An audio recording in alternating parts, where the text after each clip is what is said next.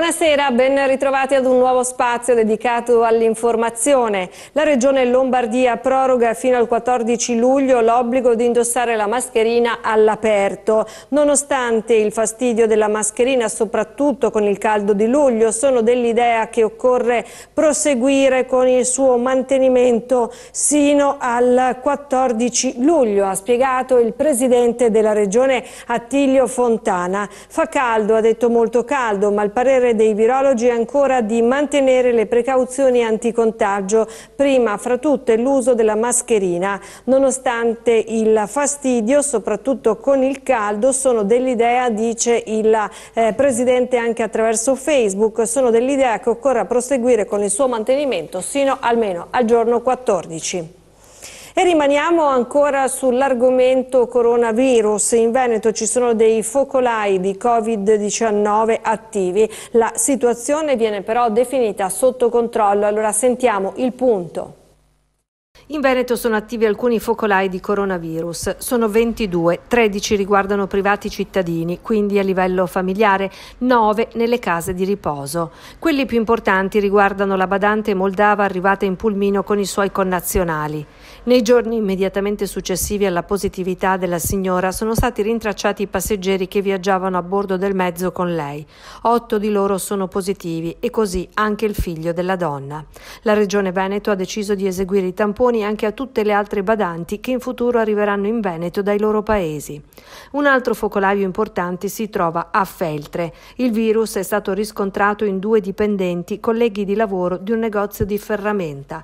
Sono in corso vari test sulle persone vicine ai positivi. Si tratta di 25 contatti dei due casi indicati. Le indagini hanno accertato altre tre nuove positività che portano quindi i contagi a 5, una correlata al caso 1 e due al caso 2. Saranno ora eseguiti nuovi accertamenti in urgenza con tampone e con le decisioni conseguenti.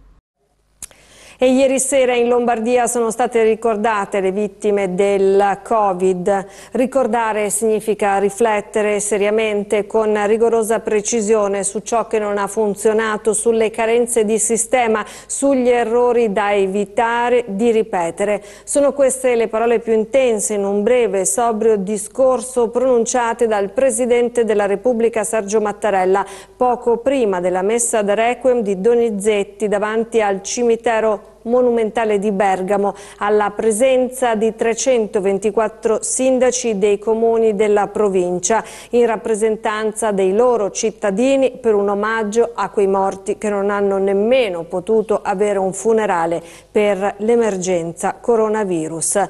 Fare memoria significa anzitutto ricordare i nostri morti e significa anche assumere piena consapevolezza di quello che è accaduto, senza cedere alla tentazione illusoria di mettere tra parentesi questi mesi drammatici per riprendere come prima, ha detto il capo dello Stato. Significa allo stesso modo rammentare il valore di quanto di positivo si è manifestato, la straordinaria disponibilità e umanità comunità di medici, infermieri, personale sanitario, pubblici amministratori, donne e uomini della protezione civile, militari, forze dell'ordine, volontari. Vanno ringraziato tutti, ha detto il Presidente della Repubblica, oggi e in futuro.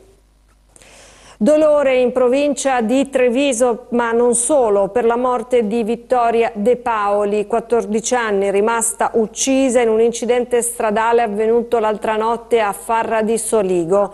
Doveva essere un sabato sera spensierato, invece Vittoria che viaggiava in scooter assieme ad un amico ha perso la vita.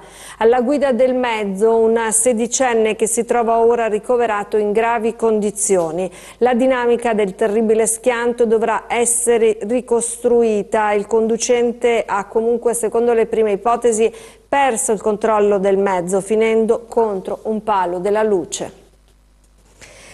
Parliamo di lavoro, il Covid è arrivato come un ciclone per le nostre aziende ma in particolare per il turismo. Sentiamo il punto della situazione e il numero delle, delle ore di cassa integrazione usufruite in questi mesi. La crisi provocata dal Covid-19 è uno shock senza precedenti per il mercato del lavoro in Veneto, non solo dal punto di vista quantitativo, ma anche qualitativo. Ad accendere i riflettori sugli aspetti qualitativi del lavoro è l'ultimo report mensile dell'Ufficio di Statistica della Regione Veneto dedicato al mercato del lavoro prima e dopo il ciclone Covid, report che sarà disponibile online sul sito.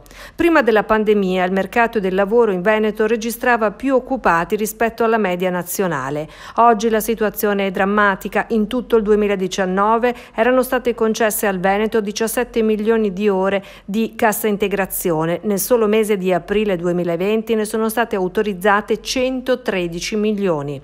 Il settore che ha registrato una congiuntura più sfavorevole è quello degli alberghi, dei pubblici esercizi e delle attività similari. Per questi lavoratori nel solo mese di aprile 2020 sono state concesse il triplo delle ore di tutto il 2020 2013, che per il settore è stato l'anno più duro della crisi economica finanziaria internazionale.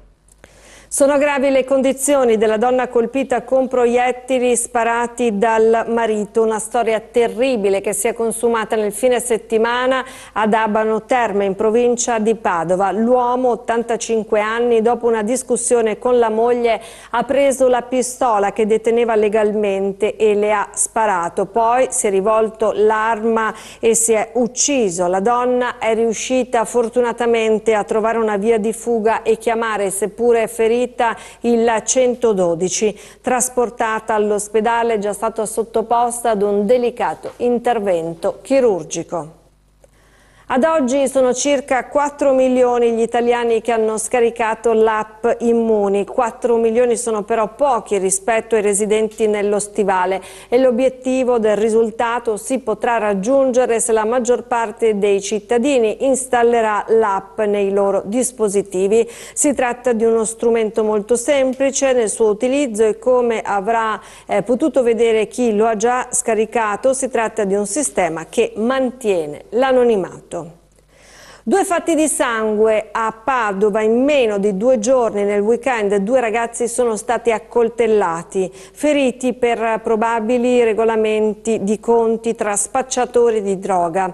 Il primo episodio si è verificato in via Falloppio, il secondo in piazza Duomo nel cuore della città. La polizia ha trovato il giovane a terra, sono scattati soccorsi, è stato trasportato all'ospedale dove è stato medicato e poi dimesso ed ora sono in corso accertamenti da parte della squadra mobile.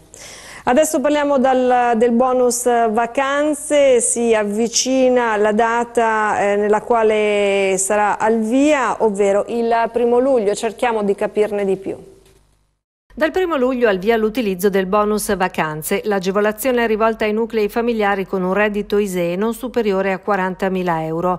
Potrà essere usufruita nel pagamento di servizi offerti in Italia da imprese turistico-ricettive. Il bonus spetta nella misura massima di 500 euro da utilizzare per l'80% sotto forma di sconto per il pagamento del servizio turistico e per il 20% come detrazione di imposta in sede di dichiarazione dei redditi. Per richiedere l'agevolazione il cittadino deve installare ed effettuare l'accesso a IO, l'app dei servizi pubblici, resa disponibile da PagoSpa. Una volta entrati nell'app, a cui si accede mediante identità digitale SPID o carta d'identità elettronica, il contribuente dal 1 luglio e fino al 31-12 potrà richiedere il bonus dopo aver verificato di averne diritto. In caso positivo otterrà un codice univoco o un QR code che potranno essere utilizzati per fruire dell'agevolazione. E in Veneto le condizioni climatiche tendono ad un peggioramento, tanto che è stato diramato lo stato di attenzione in alcune eh, zone del territorio fino alle 8 di domani mattina. E già gli eventi meteo perturbati sono cominciati con particolare violenza nel pomeriggio, tanto che alle, dalle 15.30 i vigili del fuoco sono impegnati a Teglio Veneto in provincia di Venezia per un violento evento aggiornamento meteo di forte vento e rovescio temporalesco che ha interessato la zona. Fortunatamente non sono registrati feriti ma eh, ci sono stati parecchi danni, sono stati scoperchiati alcuni tetti di abitazioni oltre alla caduta di rami e alberi. I vigili del fuoco sono arrivati sul posto con squadre da eh, varie località e stanno operando per ripristinare la sicurezza rimuovendo ostacoli alla circolazione ed elementi pericolosi. Eh, sono decine le richieste di soccorso e purtroppo secondo le previsioni le condizioni di allerta rimarranno sul territorio almeno fino alle 8 di domani mattina. Dice il bollettino che è stato diramato nella giornata di oggi. In Veneto si registra una fase di instabilità, specie sui settori nord-orientali della regione, con rovesci e temporali sparsi dapprima sulle Dolomiti e in successiva estensione alle prealpi orientali e localmente tra Pedemontana orientale e pianura nord-orientale. Previsti possibili fenomeni localmente intensi, come avete sentito è accaduto in provincia di Venezia. E adesso abbiamo un'altra notizia che riguarda il territorio di Padova, cambio al vertice dei Vigili del Fuoco nella caserma del capoluogo Euganeo. Il nuovo comandante è l'ingegner Cristiano Cusin che subentra all'ingegner Vincenzo Lotito che era al vertice di Padova dal 2017 e che ora avrà come destinazione Genova. L'ingegner Cusin è padovano.